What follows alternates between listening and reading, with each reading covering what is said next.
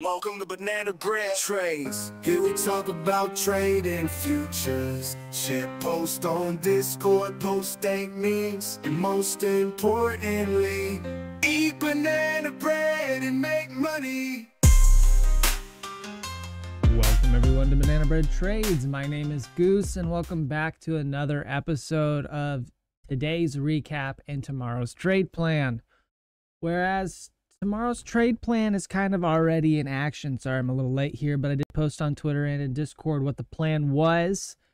And that was that it was the exact same as yesterday's trade plan of we want our pivot 5333. And today was pretty intense. You know, we tried to sell off a couple times. There were some massive orders being thrown around. I mean, the time and sales was just nothing but solid bid all day and it was just getting absorbed, absorbed, absorbed. Huge buyers coming in, making zero progress. Excuse me. So it was really a pretty tough day. I mean, it was a violent range.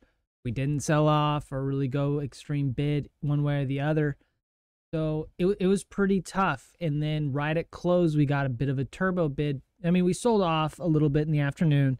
Then right at close, we got a turbo bid right back up to our pivot of 53.33 and I said, "Hey, I want to short Globex open because we are right here. We're right at this spot where we had you know, our major pivot. We have all these levels here.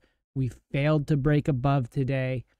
You know, buyers tried all day, all day, all day. So we're at a great spot as far as, you know, a risk standpoint. So as soon as Globex open happened, I got short and that's what we're chilling in right now. We're still sitting in a short. I'm short from 53.20 on ES. I just got a couple runners left. I took profit on the core at um, 10 points, so around 53.11. I got my I took profit, and then um, on MNQ I'm actually short from 18.945 as well, and I'm holding a short there with four off, and I'm just got a runner down to uh our target of 18,750, which is pretty far down there, but I got one runner left. It's more of like a YOLO play runner, but I think that's really a reasonable target. But we'll go through all of this here. This is just kind of a summary of what's going on. And let's kind of hop right into, yes, at least what today's trades were, and then how we got to where we are right now. So, first things first, let's actually pop open uh, my trades from today. If we go down here to the Goose section in the accountability area, I post all my trade plans and trades and recaps and everything in here as well. So yesterday we talked about lean hogs a little bit too yesterday, which ended up being an absolutely stellar play. But on ES and NQ, let's talk about that a little bit more. ES and NQ. So ES, we had our pivot at 53.33 and we had short targets of 52.75 and 52.50. Okay, and then on in NQ, our pivot was 1880 or 18880 was our pivot and we kind of went up and down above our pivot today it wasn't a super stellar spot um, to be in a trade um, so I think our pivot was a little bit wrong today on NQ, but we got a new pivot for NQ and kind of a new plan for NQ. So um, today's pivot, I think I like a little bit more at least, and it's already in play. So that was our trade plan yesterday. Um, and then what we ended up doing was overnight, we talked about getting short on or playing the gap immediately, right? Yesterday we talked about if Globex gaps, whatever side of the gap we are on, that's the side we're going to play because we were right at that 53.33 pivot. The Globex opened. We gapped down immediately. I got short on MNQ. This is just basically because I was a little late on MES. I should have gotten short on ES, but I took the short on MNQ either way. I thought probably a little bit more reward to MNQ, which I mean there was. MNQ moved quite a bit more. So I mean, I say MNQ, I'm copying this across 10 accounts as well. So, um, I took the short, got my core off around 25 points. And when I say core, I got the main bulk of my position here. I was short four contracts and I took off, uh, we were short four. I took off three contracts here, um, at 25, 20, 25 points. And then I just held a runner to see if we would break down. We did not break down. It ended up coming back, getting break even, and then chopped around this area pretty much all day. Um, and then come morning time, then you know we get into the RTH session, and then I start looking for a short on ES because we got stopped out on our NQ short, um, or not stopped out, but we got break even on our NQ short. Our runner died. We did get a pump above 53.33 overnight. We didn't really break above. We just went up, tested it, kind of chopped around that area. This was at, as you can see, 3 a.m. at goose time. So I was asleep, and this seems to kind of be the happening theme lately of these really good setups happening at London session when I'm asleep. So kind of a bummer on that. Missed that one completely. I don't set limits um, for Globex. My whole thing with trading ES, especially on these longer swings, is I want to trade the reclamation of a zone. So let's use this 53.33 as an example. I'm not going to short just because we get to 53.33. I'm going to short because 53.33 fails, right? So I want to be on the back side of the V. Like let's assume there's a V here. I want to be on the back side of the V. Let me draw an example. So I'm just going to use this real quick. Let me bring my snipping tool over here. So let's say price here, we have a level at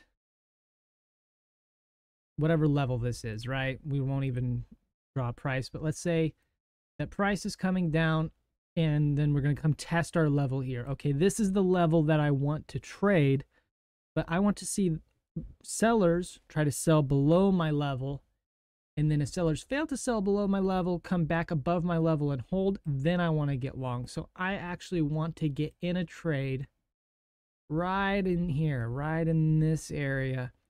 Um, I want I want to get long on the reclamation and hold of that zone. And then I know exactly where my stop needs to be. It needs to be below where sellers tried to push lower. This gives me a really defined risk and then I can use leverage appropriately. You see me use different size contracts all the time. Usually I'm trading on ME or on micros just because that gives me a lot more leeway on using, you know, whatever size I want to use. You know, I can go from 2 micros all the way to 15 to 20 micros if I want to. It all really depends on how far are we going to wick past my zone and what's the risk on the trade. And that's like my short that I'm in right now my risk is actually pretty high, so I took it pretty light leverage. I did short it with two minis and one of my larger accounts, but that account is already flat. Now I'm just holding my micro runners. And like I said, the risk was kind of high on those, so we shorted it pretty light. I only shorted that one with um, three micros, and then we're holding some runners on that. So that was our or that's at least why I don't set limits in Globex. Now let's talk about this trade I took today on ES. Globex or our regular trading hours opened. Okay, I waited. Regular trading hours opened, and we get a sell right off the bat, and I didn't take it. I kind of bitched out, not gonna lie. And I was like, okay, let's just wait here for the first 30 minutes of the trading session. Um, and kind of see, you know, how things transpire. We get 30 minutes in and here comes that 30 minute rotation. We did actually end up getting a buy up. Come up here to opening range. We tested opening range pretty aggressively. I honestly thought we were going to break through right there. We didn't break through. So there was no short for me there, which was a good thing because I would have ended up getting, you know, a break even on this short right here. And I definitely wouldn't have gotten my core off in time either. So ended up avoiding a scratch trade there. And then we bid back up and we bid back up. And this is where I was talking about, you know, on time and sales, the bid was really, really strong all day.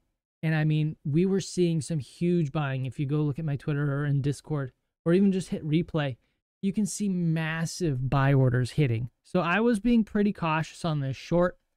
I did end up finally getting short. We were failing to break above or back into this opening range. I kind of thought we were failing. So I got short light, just two contracts.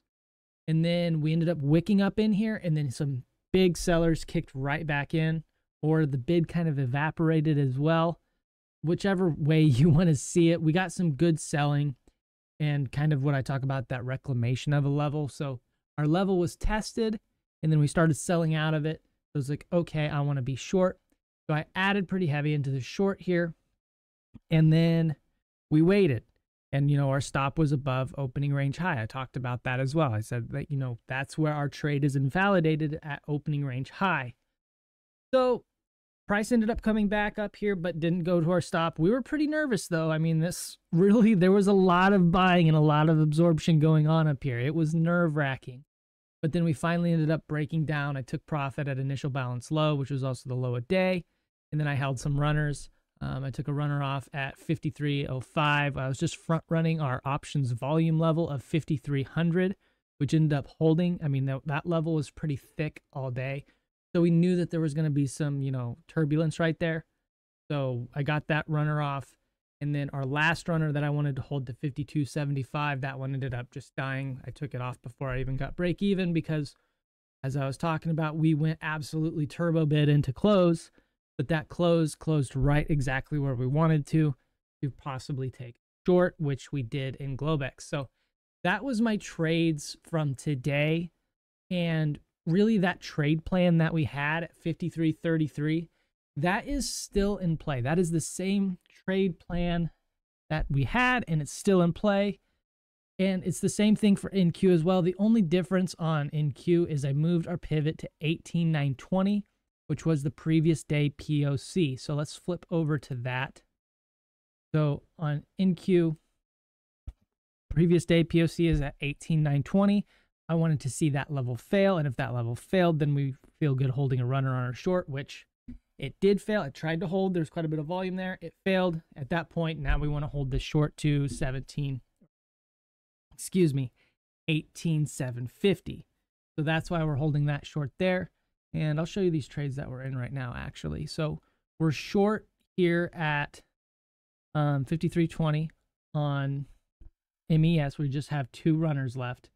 And then over here on NQ as well, we are short from 945. I did short, like I said, right at Globex open. We had a gap down, got short. Same thing ES, gap down, got short. But that's also why I hit it light because we had a little bit of risk here to the upside. We're about 10 points from our pivot, but we really liked that short and I really liked this gap right here. So I wanted to get that that short in right off the bat. So we're holding those right now. And like I said, my target on ES is I'll probably trim around 5,300 and then hold runners to 5275 or maybe even 5250. If we flush through 5300 pretty quickly, then I'll just start trailing one runner and then uh, hold our last runner to 5275, 5250 area. And then on NQ, I want our first target of um, 18750.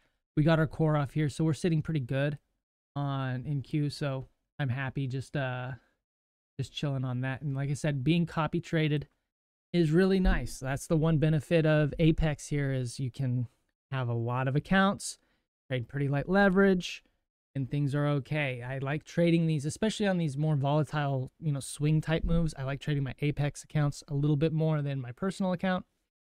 And then that allows me to be a little bit more free with my personal account as well as trading light leverage and looking for these much larger scale moves and trading those light, not feeling like I'm missing out on, you know, intra move moves. You know, I can hold, you know, my runners a little bit longer on that personal account.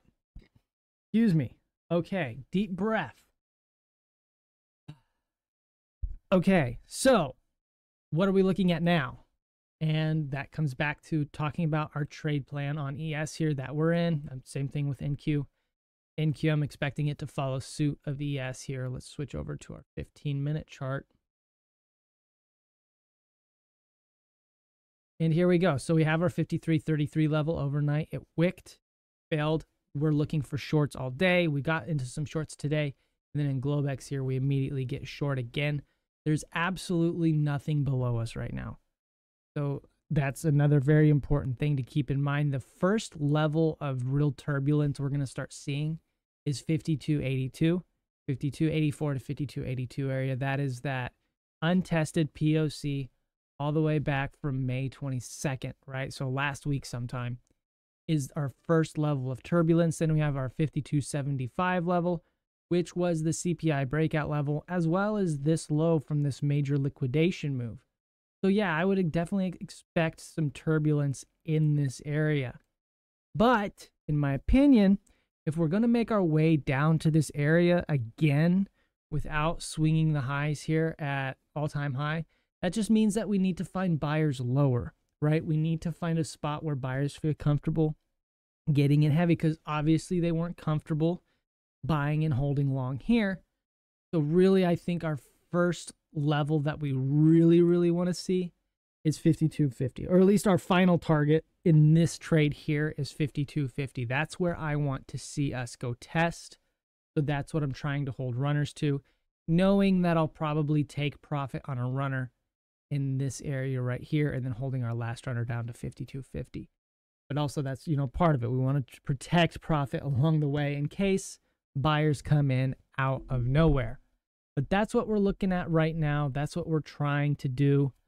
Um, I hope everything was kind of clear there. I know I kind of rambled quite a bit. This one went a little bit long, but there's kind of a lot going on, and this is one of those really nice trading setups that I love to see. And you know, I'll also go here and show us a little bit here. Um, where is it? Okay, right here. This other trade we took, it was the exact same setup as today was, on April 29th. And you can go back and replay both days where we had massive volume. We had huge buying with buyers making zero progress.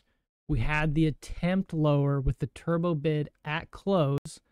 Turbo bid closed right at what our pivot was. And then the following day, we sold off into a massive liquidation move.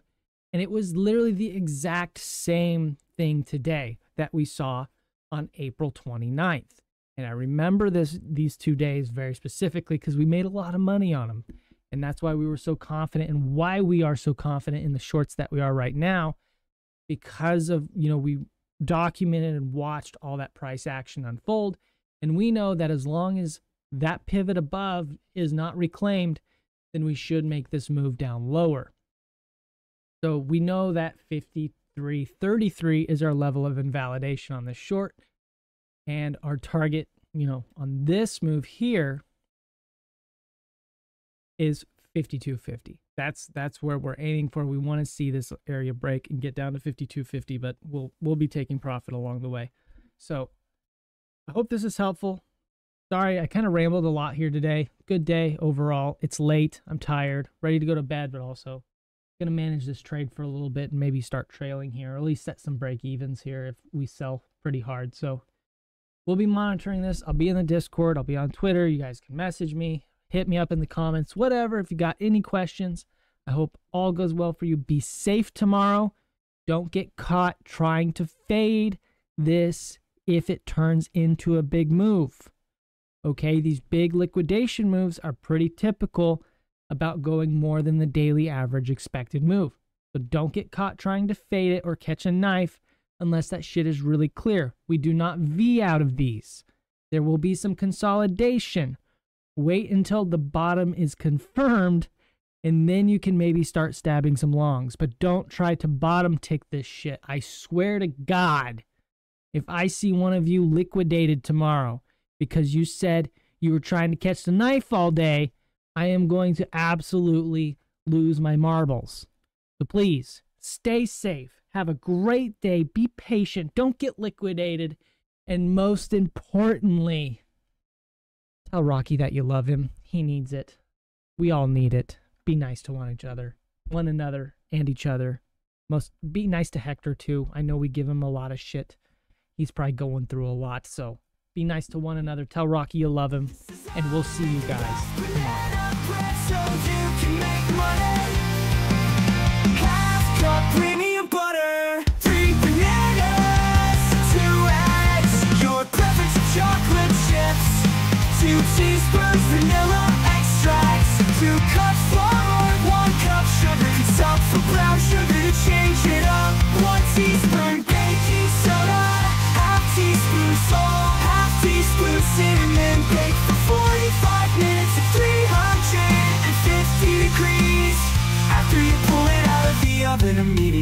Cover it in tin foil and leave set at room temperature overnight. The tin foil locks in the moisture so that when you cut into it The next day you have super moist and delicious bread. And that's how you make the world's best banana bread.